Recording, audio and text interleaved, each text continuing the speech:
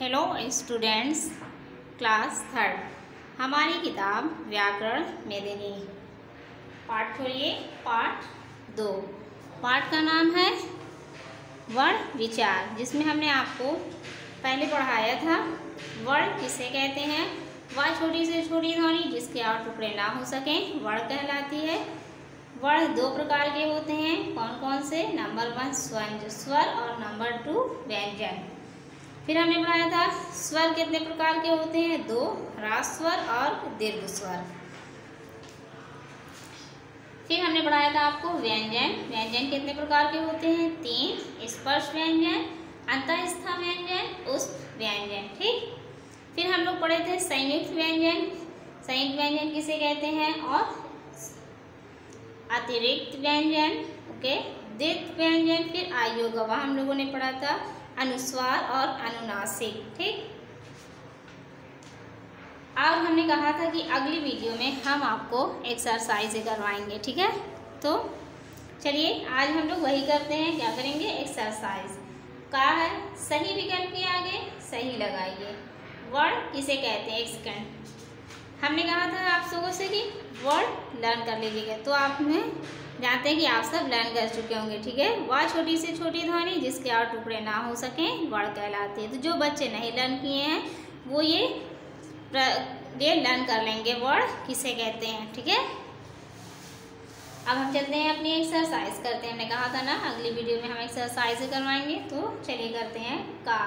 सही विकल्प के आगे सही लगाइए, ठीक? नंबर वन है वर्ड कहते हैं किसे? ध्वनि के सबसे बड़े खंड को व ध्वनि के सबसे छोटे खंड को, दोनों खंडों को। तो ध्वनि के सबसे छोटे खंड को तो ये आपका सही है, टिक कर लीजिए। वर्णमाला कहते हैं किसे? आ, वर्णों के समूह को, ब, वर्णों के क्रमिक समूह को, सा, सभी वर्णों के निश्चित और क्रमिक समूह को। तो सा सही है आपका, सभी वर्णों के निश्चित और क्रमिक समूह को, ओके? नंबर थ्री प्रत्येक वर्ण को बोलते समय हमारे मुख से, ठीक? नंबर आ, स्वर निकलते हैं नंबर ब, व्यंजन निकलते हैं नंबर सा, ध्वनि निकलती है। तो नंबर सा सही है ध्वनि निकलती है, ठीक?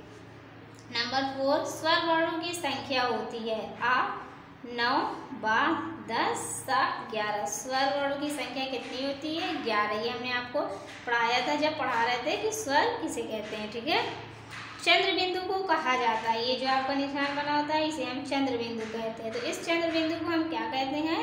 अनुनासिक, अनुस्वार या आयोग तो बताइए, क्या कहते हैं? अनुनासिक। ये इसे टिक कर लीजिए, ठीक? खा है, सही कथन के सामने, सही तथा गलत के सामने, गलत लगाइए। नंबर वन, भाषा की सबसे छोटी ध्वनि जिसके खंड ना किए जा सकें, वर्ण कहलाती है? सही। नंबर टू वर्णों के निश्चित अवक्रमिक समूह को वर्णमाला कहते हैं। ये हमने पढ़ाया था। सही है, ये वर्णमाला। नंबर थ्री दो व्यंजनों के संयोग से बने व्यंजन संयुक्त व्यंजन कहलाते हैं। ये भी आपका सही है, ठीक है? जिन व्यंजनों को बोलने में कम समय लगता है, उन्हें दीर्घ स्वर कहते हैं। ये गलत है, उन्हें ह्रास वर्ग कहते हैं, ठीक है? नंबर गा, उपयुक्त शब्द चुनकर रिक्त स्थान भरिए। पहला है डैश स्पर्श व्यंजन है। कौन सा? का, व, या, हा। तो का का आप यहाँ पे फिल कर लेंगे।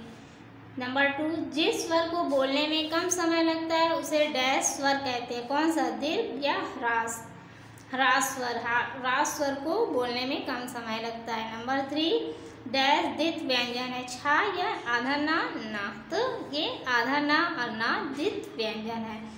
डैश संयुक्त व्यंजन ऑप्शन दिया है श्रा श्रा। श्रा का संयुक्त व्यंजन है। डैश उष्म व्यंजन है। ला, सा। सा उष्म व्यंजन है, ठीक है? नेक्स्ट है, रेखा खींचकर सुमेल कीजिए। ह्रास स्वर्ग।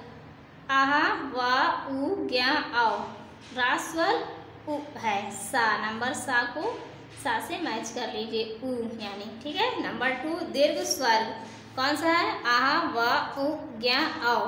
तो नंबर टू को या से मैच कर लीजिए। औ औ आपका दीर्घ स्वर्ग है। नंबर थ्री, आयु, गवा। आहा व, उ, ज्ञा, औ। तो आहा आपका आयु, गवा है। अंग और आहा आपका आयु, गवा है। तो नंबर थ्री को नंबर आ से मैच कर लीजिए। नंबर फोर अंतस्था व्यंजन आ ज्ञा आओ तो अंतर स्था व्यंजन वह है आपका तो नंबर फोर को नंबर बाद से मैच कर लीजिए। संयुक्त व्यंजन, आप सब जानते हैं, छात्र ज्ञाश्रा संयुक्त व्यंजन है। तो आपका ये जो ज्ञा दिया हुआ है, ये संयुक्त व्यंजन है। तो नंबर फाइव को नंबर दस से मैच कर लीजिए, ठीक? तो आप सब भी इसे अपने बुक में फिल कर लेंगे ना। सही विकल्प के आगे सही लगाइए। सही कथन नंबर खास सही कथन के सामने, सही तथा गलत के सामने गलत लगाइए, ठीक है? और उपयुक्त शब्द चुनकर रिक्त स्थान भरिए। रेखा खींचकर सुमेल कीजिए। निम्नलिखित प्रश्नों के उत्तर दीजिए ये पीडीएफ हमने आपको दे दिया है तो आप सब इसे कॉपी में वर्क कर लेंगे, ठीक है? ये कॉपी में वर्क करना है, जो हमने आपको दे दिया है पीडीएफ ओके तो आप सब पीडीएफ पीडीएफ हमने पहले सेंड किया था प्रश्न उत्तर की तो आप सब कवर कर लेंगे। ये बुक में वर्क करना है और ये प्रश्न उत्तर कॉपी में ओके? आज के लिए इतना ही। नेक्स्ट वीडियो में हम पढ़ेंगे चैप्टर थ्री, वर्ण संयोग। ओके? Thank you.